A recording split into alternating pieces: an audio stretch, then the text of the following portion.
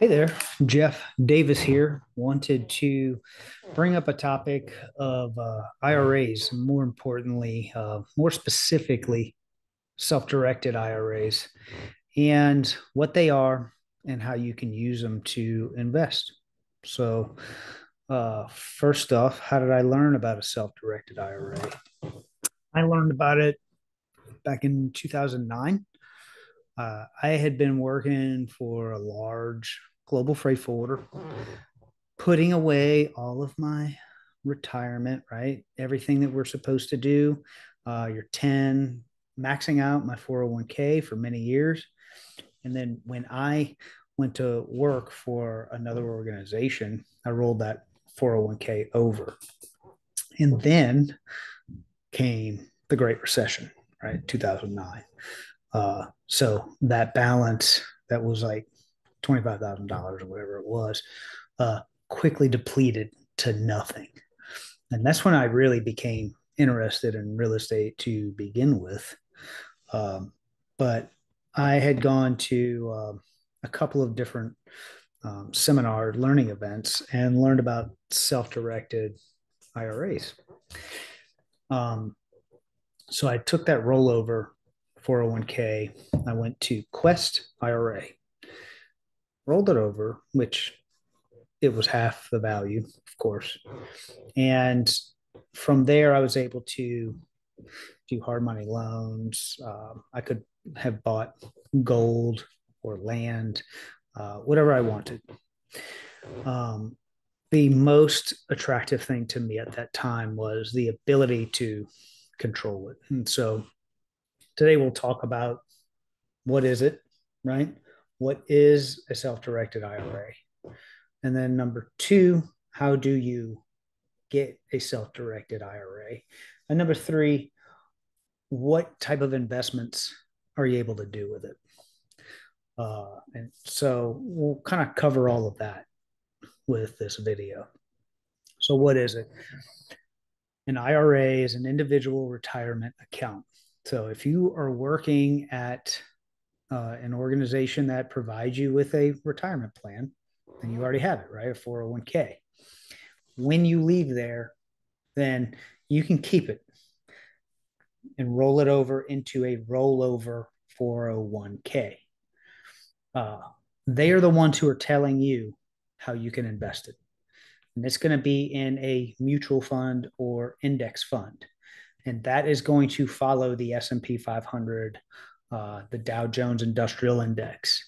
And those are going to earn, you know, an 8 to 10%. And what I personally do not like about that is the lack of control and visibility of fees. Uh, because all of these funds have fees and they're all managed by product managers. They're managed by Fidelity Investment Funds. They are managed uh, by Vanguard. Uh, so they're going to have fees on the front end and they're going to have fees on the back end.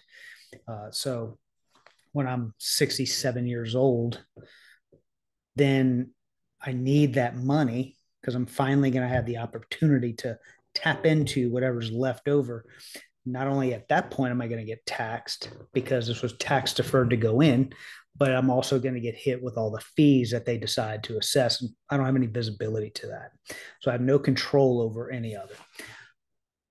What a self directed IRA is, is pulling that money into a governed, regulated account that's managed by a custodian. So it's still regulated, it's still monitored. Um, however, I get to dictate what investment class it goes into. So I can control if it goes into a mutual fund. I can control if it goes into a house. I don't get to pull the funds out. I don't get to enjoy those funds until I'm 67, until I'm retirement age, at which point it gets taxed if it is a traditional. But uh, I can control where that where those funds get placed, as long as I am not the beneficiary. So, two types of IRA there are the uh, traditional, which acts just like a 401k, and a Roth. And the difference between the two is that traditional is going to be taxed at the end, and a Roth is actually pre tax. So that is taxed dollars now that I get to remove, it gets to grow tax free. So if I put $5,000 into it today and it grows to $100,000, then I get to take out that $100,000 when I'm 67. That 100,000 is coming out tax free. So because I'm putting in after tax dollars. That's the two types of self directed IRAs you're going to run into. So that's what a self directed IRA is. Um, so, how do you set one up? Uh, it's not overly complicated. You're going to find a an IRA custodian. There's several around in the country. Uh, two big ones. Uh, the most popular here in Houston, you have Quest IRA, and uh, there's one that I personally use Advanta IRA. And get in touch with me. Um, you can click the link below, get in touch. I'm happy to put you in touch with either one and see who suits you the best. Uh, IRA custodians are very transparent about their fees and they have fixed fee structures You pay them on a quarterly basis, uh, and you can pay them on an annual basis. But it's very transparent. It's upfront. You're going to pay fees no matter what in your retirement plan, but it's very nice to be uh, told what your fee structure is going to be. So, why do a self-directed IRA? A lot of reasons, like I just explained, is control uh, when you're doing a self-directed IRA, you can you have to complete that due diligence on where that money is going to go. Me personally, I like that it's not spread across massive corporations uh, that are run by individuals that I don't know with um, really different uh, guiding functions, right? moral compasses that I may not agree with.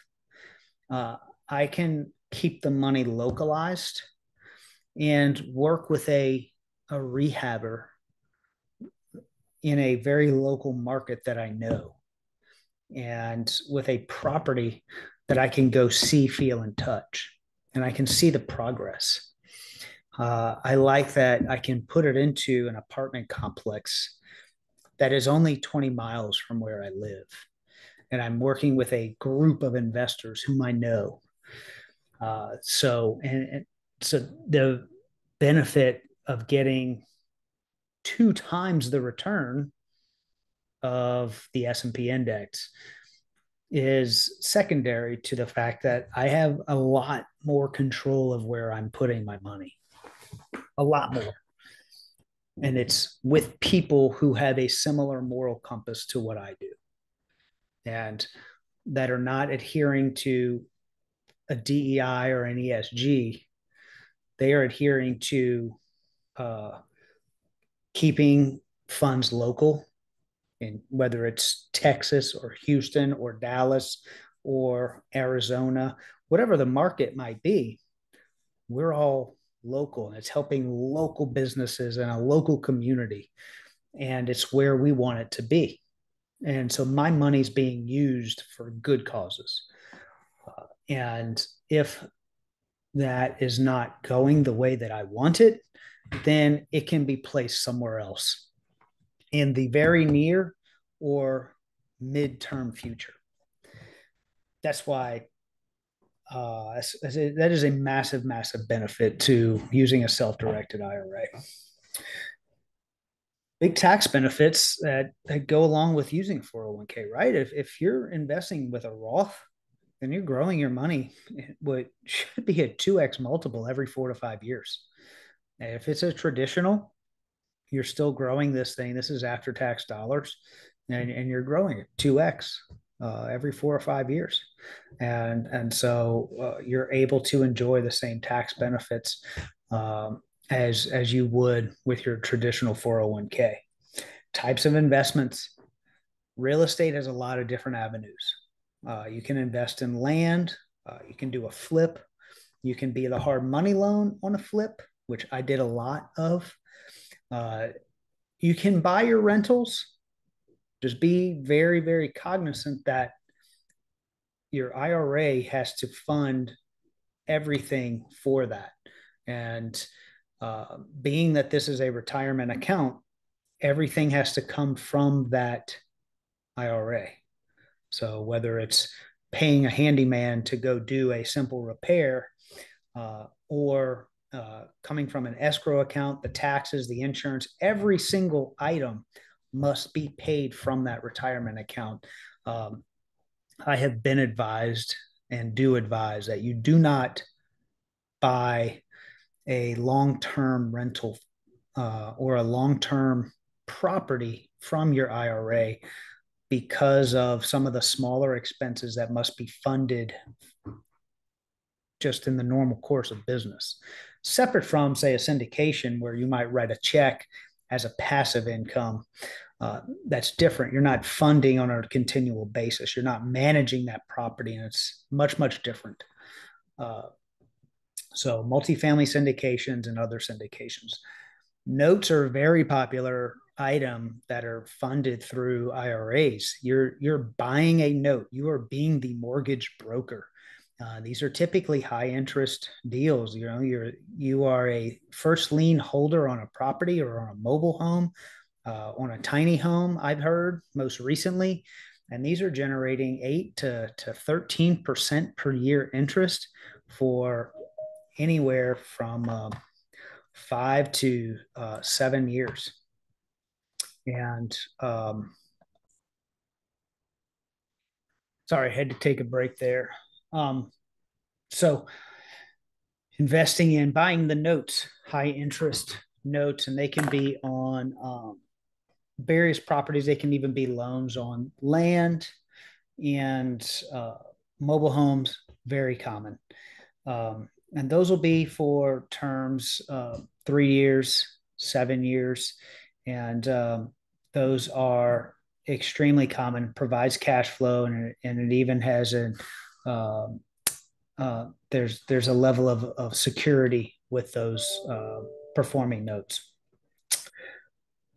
A less common um, investment for the real estate side is tax liens. There's a quite a bit of work you know if you've if you've got the time to do the due diligence on those tax liens if you've taken a course if you have uh, a, a, mentorship if you're in a group uh, and you know the process by all means go through it and, and, do it and there's a significant amount of upside but there is a, a time element and a research element due diligence element to that same thing with uh, precious metals uh, there's less liquidity there, and and and then and then crypto as well, right? Bitcoin and, and Ethereum and all the different crypto exchanges. Um, same thing as as the stock market, right? All of the due diligence on that front side for the upside. Um, there, there's less cash flow, more it's more of a trading exercise. So um, why do it?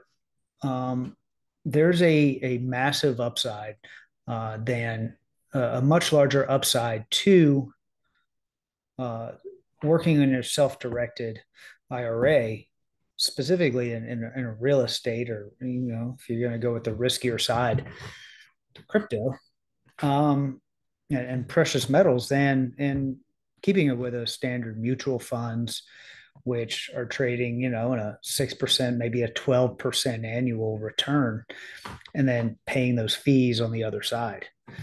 Uh, there's a much higher return. Why else? Control. I know I keep going to that, but you have no control in the stock market. The, the stock market is manipulated and controlled by movers, by market movers. You can read any uh, book on how the stock market is is moved. It is moved by insurance companies and mutual funds, uh, whichever way they choose. And uh, news articles, the news, if they are talking about a recession, the market is moving down. And if they're not, then it's moving up. you've got no control over that. So your mutual fund will go in that direction. However, if you're investing in a specific project with a specific group of people that you know, like, trust, and they have a performance record on that specific type of project, you're, um, I don't want to say guaranteed, but there is a level of confidence that you have in the performance of that project and its returns, whether it is a short term single family flip uh, or a mid to long term uh, multifamily exit and, and value add project or a land development deal with an experienced builder in an area that you're comfortable with the growth and the population density of that area. So all of these things you have control over. And, and if you have confidence in and have done the due diligence of the group that's supporting the project and you like them uh, and you like that community, these are reasons to use a self-directed IRA. Uh, why else do it? That's where you can tap into uh, a very large amount of capital. Uh, you you know as a as a 40 year old not all 40 year old professionals have access to $100000 but their retirement funds do right and so uh, for me i've i've got multiple iras that i've been able to tap into to get into a lot of different projects uh, and so I'm in, I'm able to direct hundreds of thousands of dollars into these projects and and and gain experience into how these different projects works. So um, how does it work? Um, and then some of the un the cons, right? You don't get the liquidity. Um, yeah, I get a return. I don't, but my IRA does. Uh, some of the things to be mindful of is uh, UBIT, unrelated business interest tax. If the IRS deems it, and basically, if there's leverage on a project, which with everything except for a single family that you are providing the absolute whole loan on, uh, you're going to be subject to a UBIT. Uh, what is the overall penalty for this? It could be uh, you know, if you're looking for something in the range of 22% IRR, you, you could be looking at 20 to 21%, right? Uh, about a 1% fee on that, or not fee, but tax on that. So it'll affect you in that regard. Um, you do have uh, the ability to combine. So I've got me personally, I have education savings accounts for my kids that are in they they perform the same way as Roth, right? I can put after tax dollars and they can grow tax free. And that's what they have. I have five kids, so I have five of those. I can do up to $2,000 per year. Uh, I have a Roth for myself, and then I have a traditional IRA for myself. And then, um, so that's seven accounts. Individually, uh, only two of those will qualify for any kind of substantial investment. Two thousand dollars a year. Two of them I had four or six thousand. Nobody wants a two thousand dollar contribution to their deal. Everybody wants fifty or a hundred or seventy five. But if you can control, if you can control all of those together, then you have something substantial. So what you can do is create a uh, basically a joint venture partnership.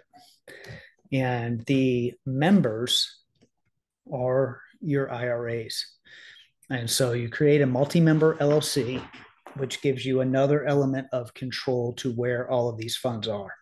And their contribution to this LLC dictates pro rata their membership interests, right? So if it's a $100,000 LLC and, and the ESA contributes four thousand dollars, they have a four percent membership interest, and and vice versa, and and so on and so forth, right? So uh, we have an LLC that is a uh, a partner in several syndications, and, and that those will grow, you know, tax free uh, as those projects, um, you know, uh, grow and, and appreciate, and the value adds, and they sell, and and ideally they will sell by four years from now, and then I'll close that LLC out and and exit. Uh, and that's how you should structure it. That's one idea. It's not how you should, but that is an idea of what you can do, right? If you've got multiple IRAs and you just want to control it, you just direct it. You'll only have to sign off and do the um, appropriate um, guidance from your uh, custodian forms by directing it into the LLC. You report the value of the LLC to your custodian once a year. Uh, and from there, the LLC goes into whatever you determine is, is uh, worthy. You cannot, you will be the manager. So I'm the manager of it, but I do not mix my funds. It's in a bank account that I don't do any work with. Uh, I don't receive any funds. I will never do anything with that bank and that institution just to make sure I don't break any law. So, you know, you're under some additional scrutiny when you're dealing with these SDIRAs. Uh, be mindful of that. And we can talk about that in another video, how to be extremely careful. So, all that, um, I will close it out there. If you have any questions about using a self directed IRA for investing, uh, I've been doing it for about uh, 10 years now, close to it, eight years. And um, I know the good, the bad, and the ugly, how to do some good due diligence, how to grow it. And it's, um, it's interesting. You know, I have my favorite types of investments. I have some that I haven't done yet. Um, but I, I'm a big fan and I can put you in contact with some various custodians and show you some good educational sources if you're interested. So take care, like, share, and subscribe.